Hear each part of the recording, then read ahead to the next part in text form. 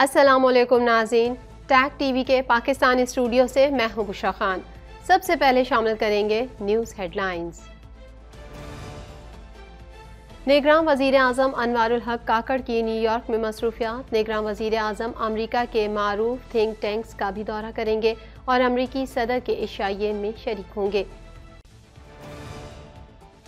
हमारे मौशी एजेंडे की नकल करके भारत आज कहाँ पहुँच गया? नवाज़ शरीफ का कहना है कि भारत चाँद पर पहुँच गया। जी ट्वेंटी इजलास करा रहा है। ये सब तो हमें कराना चाहिए था। पीडीएम डिफ़ॉल्ट से ना बचाती तो आज पेट्रोल एक हज़ार रुपये लीटर होता। सूबाई और कौमी असम्बली की हल्का बंदियाँ दर्जी बिठाकर की गईं। फारूक सत्तार का कहना है कि 2018 की हल्का बंदियों से मुतालिक भी हमारे तहफ़ात हैं। मर्ज़ी की हल्का बंदियाँ करके पहले मखसूस पार्टी को फ़ायदा दिया गया। आईएमएफ का पाकिस्तान में पेट्रोलियम मसनूआत की स्मगलिंग पर इजहार तशवीश, रिपोर्ट तलब कर ली। आईएमएफ का कहना है कि स्मगलिंग ना रुकी तो रेवेन्यू शॉर्टफॉल बढ़ने का खदशा है। एफबीआर, वजारत खजाना को रेवेन्यू बढ़ाने के लिए इकदाम की हिदायत। हेडलाइंस आपने जानी और अब शामिल करेंगे खबरों की तफसील। Laundry is no longer a hassle. Just toss an EcoFresh detergent strip into the washer for a convenient, eco-friendly yet powerful wash. Hypoallergenic, safe for sensitive skin. Say no to bulky plastic jugs and bottles. No more measuring and spilling. Just one strip for a load. Simple and squeaky clean. Plastic-free, biodegradable packaging. Organic, paraben, phosphate, dioxane, and cruelty-free. Order now at www.ecofreshcanada.ca or at Amazon. क्या आप Canada की immigration और citizenship लेना चाहते हैं या Canada में study करना चाहते हैं लाइटो इमिग्रेशन न सिर्फ़ आपको कनाडा की इमिग्रेशन और सिटीजनशिप दिलवाने में आपकी मदद कर सकते हैं, बल्कि आपको कनाडा में सेटल और इन्वेस्ट करने के रास्ते भी सुझा सकते हैं Lito Immigration is a regulated Canadian immigration consultant.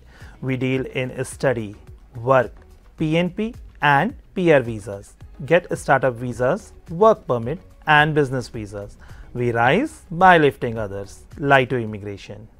निगरान वज़ीर अजम अनवारुल हक काकड़ न्यूयॉर्क पहुँच गए जहाँ वो मसरूफ दिन गुजारेंगे और 22 सितंबर को जनरल असम्बली के अठहत्तरवें इजलास से खिताब करेंगे मजीद तफसीत इस रिपोर्ट में। निगरान वज़ीर अजम अनवारुल हक काकड़ न्यूयॉर्क पहुँच गए, जहाँ वो आज मसरूफ दिन गुजारेंगे और बाईस सितंबर को जनरल असम्बली के अठहत्तरवें इजलास से खिताब करेंगे। निगरान वज़ीर खारजा जलील अब्बास जिलानी भी उनके हमरा हैं। निगरान वज़ीर अजम अकवा मुतहदा जनरल असम्बली के अठहत्तरवें इजलास में शिरकत करेंगे और अली सतह के मुबासे में शरीक होंगे। निगरान वज़ीर अजम अमरीका के मारूफ थिंक टैंक्स का भी दौरा करेंगे और अमरीकी सदर के इशाइये में शरीक होंगे। तफसीत के मुताबिक निगरान वज़ीर अजम अनवारुल हक काकड़ पाँच रोजा दौरे पर न्यूयॉर्क पहुँच गए। पाकिस्तानी सफ़ीर मसूद खान और मुस्तकिल मंदूब मुनीर अक्रम ने इस्तकबाल किया। निगरान वज़ीर अजम अनवारुल हक काकड़ मुख्तर वक्त के अरकान के हमरा न्यूयॉर्क पहुँचे हैं।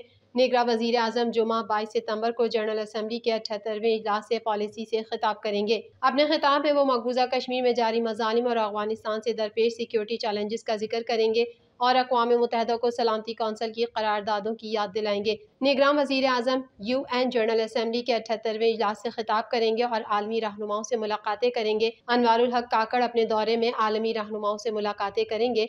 अमरीका में मौसमियाती तब्दीली पर मुनद होने वाली कॉन्फ्रेंस में शरीक होंगे।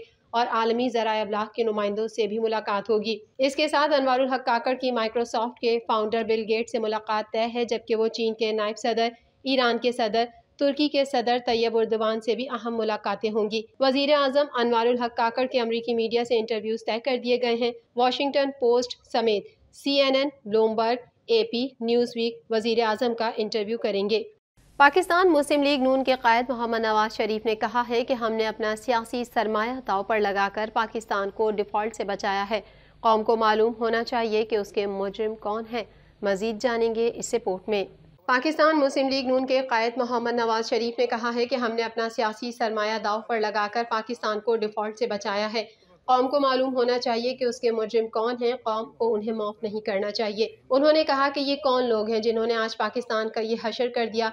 आज गरीब रोटी को तरस रहा है मुल्क को इस हाल तक किसने पहुँचाया है? आवाम रोटी खाएँ, बिजली का बिल अदा करें या दवाई खरीदें। उन्होंने कहा कि आज भारत चाँद पर पहुँच गया जी ट्वेंटी इजलास करा रहा है। ये सब तो हमें कराना चाहिए था। दिसंबर 1990 में जब मैं वज़ीर आज़म बना था तो उस वक्त भारत ने पाकिस्तान में हमारी शुरू करदा मुआशी इसलाहत की तकलीद की थी। हमारे मुआशी एजेंडे की नकल करके भारत आज कहाँ पहुँच गया और हम कहाँ रह गए हैं? वाजपेयी जब वज़ीर आज़म बने तो उस वक्त भारत के पास एक अरब डॉलर खजाने में नहीं था, लेकिन आज उनके पास 600 अरब डॉलर के फॉरेन रिज़र्व हैं। उन्होंने कहा कि पीडीएम मुल्क को डिफ़ॉल्ट से ना बचाती तो आज मुल्क में पेट्रोल एक हज़ार रुपये लीटर होता। हमने अपना सियासी सरमाया दाव पर लगाकर पाकिस्तान को डिफ़ॉल्ट से बचाया है। कायद नून लीग ने कहा कि पाकिस्तान को डिफ़ॉल्ट से बचाने की कीमत हमने अदा की है। पाकिस्तान के दर्द की खातिर खलूस से ये कुर्बानी हमने दी है। लिख कर देता हूँ इनशाला इंतबात में कामयाब भी आप ही होंगे। सबक वज़ीर अजम ने कहा कि हमें इंतकाम की कोई ख्वाहिश नहीं, किसी बदले की तमन्ना नहीं। कौमों के साथ ऐसे सलूक की मुआफ़ी खुदा भी नहीं देता। नवाज़ शरीफ का कहना था कि जो कौमें खुद एहतसाबी नहीं करती, वो हालात के रहमो करम पर ही रहती हैं। खुद एहतसाबी का पैगाम मुल्क के कोने कोने में पहुँचाएँ पंजाब के पार्टी अहदेदारों के ग्रैंड मशावरती इजलास से खिताब करते हुए नून लीग के सरबरा और सबक वज़ीर अजम ने कहा कि बास नुकसान ज़िंदगी में पूरे हो जाते हैं, लेकिन बास का अजाला मुमकिन नहीं होता। पाकिस्तान की तारीख में इतनी तलखियाँ नहीं आनी चाहिए थी जितनी लाई गई। नवाज़ शरीफ ने कहा कि कौम को इस हालत तक पहुँचाने वाले किरदार और चेहरे हमारे सामने हैं। हमारा तो एक मिनट में एहतसाब होता है। मुल्क कौम को इस हाल पर पहुँचाने वालों का भी एहतसाब होगा। उन्होंने मजीद कहा कि जो शख्स मुल्क को लोड शेडिंग से निजात दिलाता है, चार जज बैठ कर करोड़ों आवाम के मैंडेट वाले वज़ीर आज़म को घर भेज देते हैं। इसके पीछे जनरल बाजवा और जनरल फैज थे और जनरल बाजवा और जनरल फैज के आलाकार साकिब निसार और आसिफ सईद खोसा थे। नवाज़ शरीफ ने अपने खिताब में मजीद कहा कि मरियम नवाज़ शरीफ, हमजा शहबाज शरीफ समेत पाकिस्तान मुस्लिम लीग, नून के रहनुमाओं और कारकुनों ने बगैर किसी जुर्म के जेलें और सख्तियाँ भुगती। एहसन इकबाल, राना सनाउल्ला, हनीफ अब्बासी समेत हमारे पार्टी रहनुमा और कारकुनों ने किसी जुर्म के बगैर ही जुल्म बर्दाश्त किए। एम क्यू एम पाकिस्तान के रहनुमा डॉक्टर फारूक सत्तार का कहना है कि सिंध में तबादले और तकर्रियों पर हमारे तहफ़ात हैं। सूबाई और कौमी असम्बली की हल्का बंदियाँ दर्जी बिठा कर की गई। मजीद जानेंगे इस रिपोर्ट में। एम क्यू एम पाकिस्तान के रहनुमा डॉक्टर फारूक सत्तार का कहना है कि सिंध में तबादले और तकर्रियों पर हमारे तहफ़ात हैं। सूबाई और कौमी असम्बली की हल्का बंदियाँ दर्जी बिठा कर की गई। इलेक्शन कमीशन आम इंतबात की तैयारियाँ कर रहा है। सिंध में इंतजामी तौर पर लेवल प्लेइंग फ़ील्ड कायम नहीं हुई। इस्लामाबाद में इलेक्शन कमीशन के बाहर मीडिया से गुफ्तु करते हुए डॉक्टर फारूक सत्तार ने बताया कि हमारे पाँच रुकनी वक्त की सेक्रेटरी और चीफ इलेक्शन कमिश्नर से मुलाकात हुई है। उन्होंने कहा कि आज इलेक्शन कमीशन के मुतल अहलकारों से मुलाकात की। सेक्रेटरी इलेक्शन कमीशन से हमारी मुलाकात थी। सिंध में तबादलों और तकर्रियों पर तहफात से हमने इलेक्शन कमीशन को आगाह कर दिया है। फारूक सत्तार ने कहा है कि हमने अपने तहफात से निगरान वज़ीर अला सिंध को भी आगाह किया है। उन्होंने यकीन दहानी कराई है जिस पर अब अमल होता है या नहीं, बाद में पता चलेगा। एम क्यू एम के रहनुमा का कहना है कि 2018 की हल्का बंदियों से मुतालिक भी हमारे तहफात हैं। सूबाई और कौमी असम्बली के हलकों की हल्का बंदियाँ दर्जी बिठा कर की गई। उनका मजीद कहना है कि हमने मुनासिब समझा कि नई हल्का बंदियों से मुतालिक भी इलेक्शन कमीशन को आगाह कर दें। अपनी मर्ज़ी की हल्का बंदियाँ करके पहले मखसूस पार्टी को फ़ायदा दिया गया। एम क्यू एम पाकिस्तान के रहनुमा डॉक्टर फारूक सत्तार का ये भी कहना है कि सखर और मीरपुर ख़ास में हमें नुकसान पहुँचाया गया। हमने कहा है कि 2018 की ज्यादती का अजाला होना चाहिए। आलमी मालियाती फ़ंड ने पेट्रोलियम मसनूआत की स्मगलिंग पर इजहार तशवीश करते हुए मुतालबा किया, महाना एक सौ तैंतालीस मिलियन लीटर पेट्रोलियम मसनूआत स्मगलिंग को रोका जाए। मजीद अहवाल इस रिपोर्ट में। आलमी मालियाती फ़ंड ने पेट्रोलियम मसनूआत की स्मगलिंग पर इजहार तशवीश करते हुए मुतालबा किया, महाना एक सौ तैंतालीस मिलियन लीटर पेट्रोलियम मसनूआत स्मगलिंग को रोका जाए। मीडिया रिपोर्ट के मुताबिक जराए एफ़ बी आर ने बताया कि आई एम एफ़ ने वजारत ख़जाना और एफ़ बी आर से रिपोर्ट मांग ली। और पेट्रोलियम मसनूआत स्मगलिंग की रोकथाम के लिए अब तक इकदाम पर रिपोर्ट भी तलब कर ली है। तफसीत के मुताबिक आलमी मालियाती फंड ने महाना एक लाख बीस हज़ार टन पेट्रोलियम मसनूआत की स्मगलिंग पर इजहार तशवीश कर दिया। आई एम एफ़ ने इजहार तशवीश करते हुए कहा है कि स्मगलिंग ना रुकी तो रेवेन्यू शार्टफॉल बढ़ने का खदशा है।